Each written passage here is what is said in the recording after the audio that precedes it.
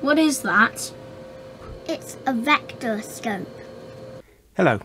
Well, there's always more to learn about audio and video equipment, and such it was I wanted to learn a little bit about vector scopes. These are um, pieces of equipment that uh, are used professionally to uh, assist with color alignment of video signals, and they can do some other things too.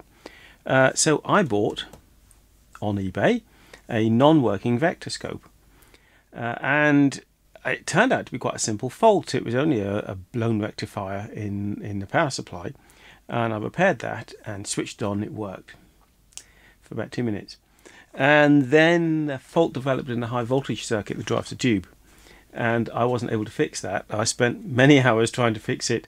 Uh, there's a problem with the feedback in there. So this is my first attempt at a vectorscope. So you can see it looks a little bit like an oscilloscope, uh, but it points, puts points on here which show you the intensity and phase of color signals, especially if you put on a color bar signal. It's very good for lining the, the whole chain. So they're used uh, not only for the camera side when you're trying to make sure that the lighting and colour is correct on pictures you've captured, but also in the whole transmission chain, your video recorders, for example. Uh, I have a 1 inch C format video recorder, and you certainly need a vector scope to set that up. It would have been great if I'd been able to fix this wonderful piece of equipment, but um, no, uh, I wasn't able to uh, get the better of it. So that could have been the end of that. That's um, my analog vector scope. It has in the back some channels inputs so channel A, B, and C. So it's three input composite video feeds input, and it can feed out again as well, and a few other connectors too. So uh, that's what uh, I would like to have fixed.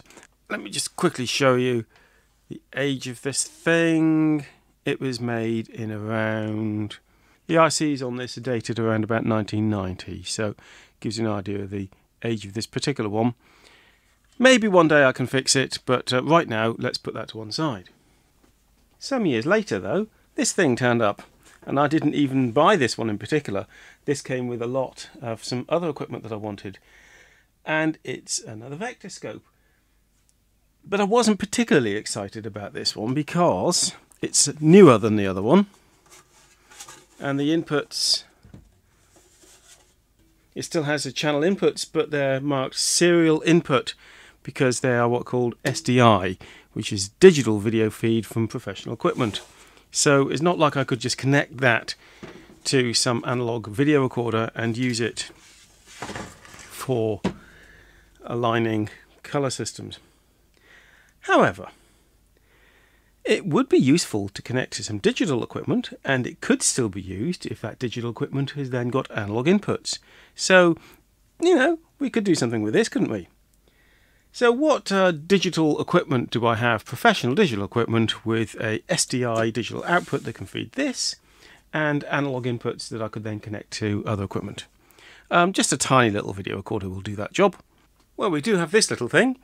Uh, DVW A500P. This is featured on my channel before when I did some minor repairs such as replacing the pinch roller. Uh, it's a fantastic digital Betacam machine. Uh, it has SDI out and it has analog inputs. So we could use this for uh, providing an analog source for our uh, vectorscope. This is a minimum of what we require. When you switch this on, you might remember when you saw me working on this machine, you only have to press a few buttons and it will output color, color bar patterns uh, to the outputs, including the SDI output. So I could feed that straight into here and we can have a look at what display we get. So let's hook all that up.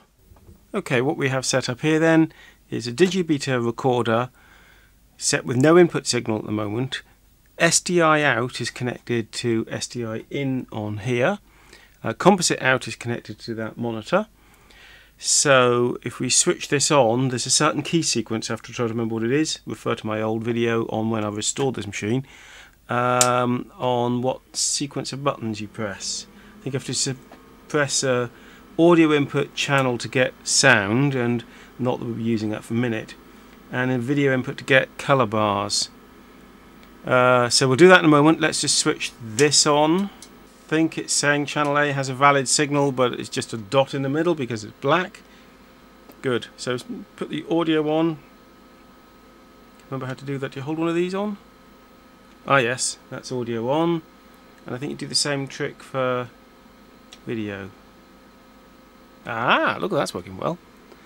Uh, now that the monitor has got the superimposed connection, whereas this is connected directly to SDI out without superimposing, so hopefully that text won't be appearing on here. Okay, so we're aiming to land, what should happen I think, is the colours should land in these little boxes, you can't quite see them. I'll turn the graticule lights up. They're not very bright. Perhaps I'll get you a closer to have a better look. Reflections are being a bit of a problem, but uh, even with the graticule illuminated you can't quite see what we're aiming for here. Uh, let's reduce the light level in here. Slightly better, maybe. So we're aiming for these little squares here, but we're overshooting at the moment. And I think that means that we've got 100% saturation color bars and those graticule illuminated those marks are for 75% bars. I could change the uh, output of this I think to be 75 but I believe one of these buttons will do it for me. Is it that one? Ah yeah there we are. So it's now on 100% so now we can see the colors from the color bar pattern all landing into those uh, squares. That means, of course, that this is a, a very good calibrated um, color signal, and that's not surprising given where it's coming from. What might be more interesting is what happens when we play some tapes or we feed this with an analog input. But first, let's also see what other um, displays we can get on this. So input A and B. So if I go to B, we'll get nothing. So we'll leave it on. Oh, A, B, or both. Right. View. Let's press the view button. Doesn't seem to do a lot. Nope, don't know what that one does. Reference. Ooh. External reference. Okay, well it doesn't have an external reference, so switch that off. Channel. Not sure display waveform or vector scope I think that means so if we go to waveform okay there are lines on the display showing where they should be. And they are lined up nicely. Yeah the graticule has very faint markings for where these steps should be. And it can display both waveform and vector at the same time. So we'll go back to vector scope. Format I don't think that's going to make any difference no. Uh, you can save and uh, yeah, you can save, store um, settings, I think, and also waveforms. Filter, so low pass that would be to filter out noise. Cal, not sure. I have to read the instructions. I haven't found the instructions to this thing yet. Audio, ah, this can also display phase differences between the two channels on audio and that could be actually quite useful because one of the things I need to do uh, with one of these um, audio cassettes is look at the phase difference between channels. Uh, and that helps you to set up the azimuth. That's this one. But um, what's less than helpful since I still don't have the user guide for this thing is I don't know which uh, pins on the D connector at the back are uh, the audio inputs. So I can't use that just yet. They're magnifiers for the waveform, I suspect. Yes. It might actually be slightly easier to see these landing points with the graticule illuminator switched off. See those small squares there? Right, having set that up, let's now feed it with a analog input and uh, perhaps we can mess about with that a little bit. I've now connected up this um, time base corrector which uh, can be set quite simply to do color bar outputs but it's feeding out composite video. It's got S video as well but there's no S video input on this so it's connected to the composite input on here but the composite input on this machine is an optional extra and it may not be installed so let's see if I can select it. It won't light. So there's no composite video input card on this, so I can't connect to that signal. Oh, that's a nuisance. Okay, let me show you the uh, somewhat tortuous uh, configuration I have at the moment. We have this Digibeta recorder set to composite input, you can see there, because this has the optional uh, extra input. And the composite video input signal there is being fed by the output from this time base corrector. We can call up color bars on the time base corrector or on the Digibeta or on what's feeding this. I have a composite video input connection from this and this has been set to give us a color bar output too can see there on that monitor.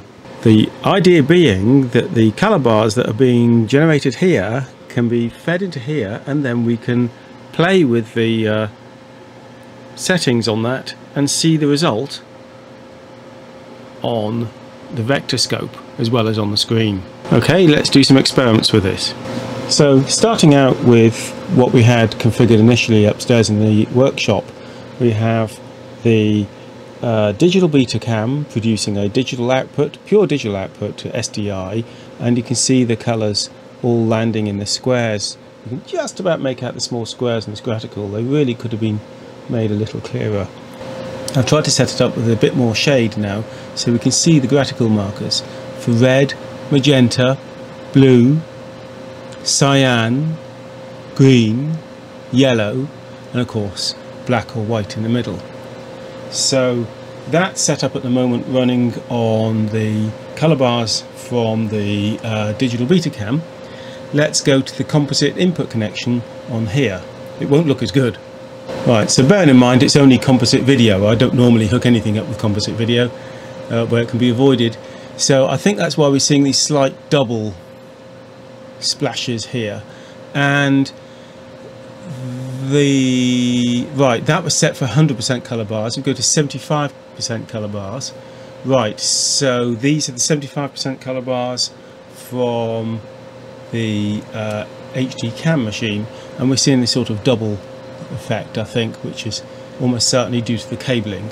But it's good enough for now.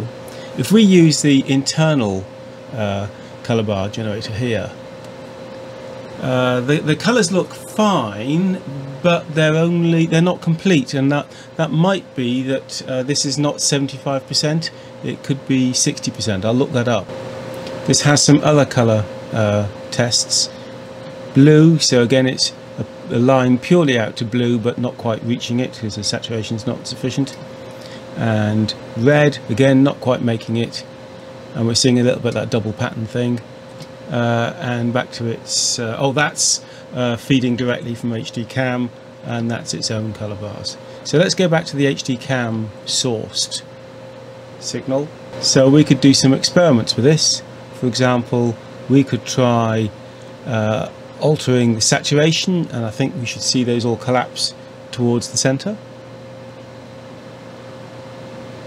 perfect. So that's color bar uh, that's now just uh, like a grayscale bars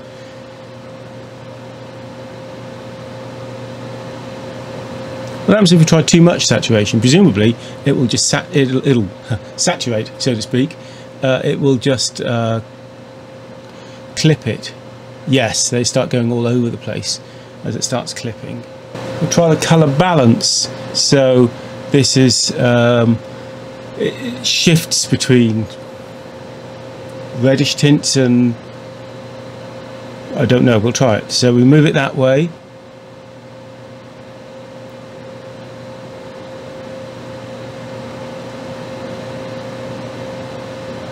and move it back. So it certainly makes a complete mess. And at that point, we're seeing a saturation sort of issue. There's a, a special color balance built into this thing, which allows us to go 3200K, and it's useful for when people have shot material on an old camera that didn't have a white balance, uh, very clear white balance setting, and you would uh, use the indoor setting for outdoors and everything would be very blue.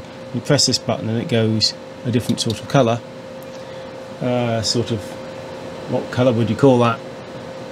pinky colour. And look, even the uh, white is shifted. So if we take all the colour out, there you go, it collapses to this point here. Okay, release that button, back to normal colour. These machines have the ability to shift colour relative to the luminance. Now I'm not sure that'll appear on a vectorscope much, but uh, for example, typically on VHS or beta, it's not unknown for the colour to be shifted a little bit. So if we swing it from one side to the other, you can see how the colours don't quite line up with the, uh, the black and white bars anymore. That could be useful for correcting defects. And these can also shift up and down, but I don't think we'll see anything there. No, we don't see it. But if we had any horizontal lines, you'd see the colour going up because VHS and beta both drop the chrominance uh, relative to the luminance by one line. We can also adjust the brightness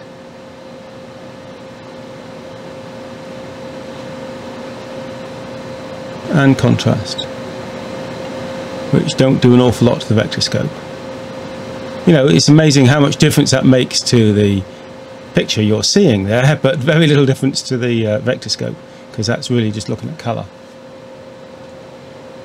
And we can take out individual colours. So if I take out red, we should see this line more or less collapse. Let's try that.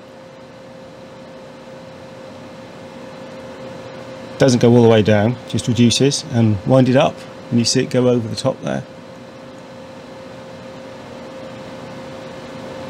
Similarly green, pulls away from the green, and blue.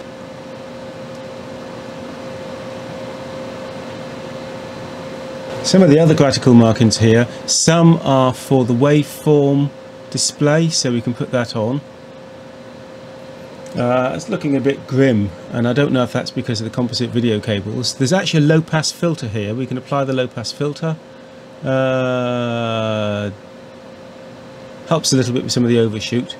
And another graticule marker here is for phase, for that audio connection, which unfortunately we don't have the pin out for. I really would like to use that. So we could put the left and right channels into the connector at the back and sit them on this line uh, when playing a tape and confirm that both channels are perfectly aligned. And if they're not, uh, and you're playing it on a cassette deck, it means you've probably got an azimuth error. Uh, so you can adjust the head azimuth with the alignment tape uh, and get both channels perfectly in phase, and that means then that the head block is uh, properly, properly uh, vertically aligned. If you want some experience with a vectorscope, they do turn up on eBay. Uh, you'd probably want an analog one if you're going to be using it with analog equipment. And let's hope you have better luck than I did with this one. You can get very sophisticated ones, cost thousands of pounds. They very often include a colour display, which is obviously useful because you can actually display the image you're looking at there. Uh, but also there's an alternative.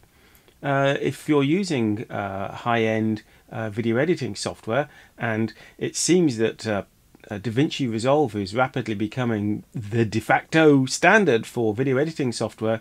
Uh, that includes, as you can see here, um, a very good vector scope which looks quite similar uh, to the one I've been using and it, gives you other functions as well. In the meantime, I hope you've enjoyed having a brief look at these vectorscopes. Please remember to like, share and especially subscribe and I'll do a lot more content on audio and video technology in the near future. Bye for now.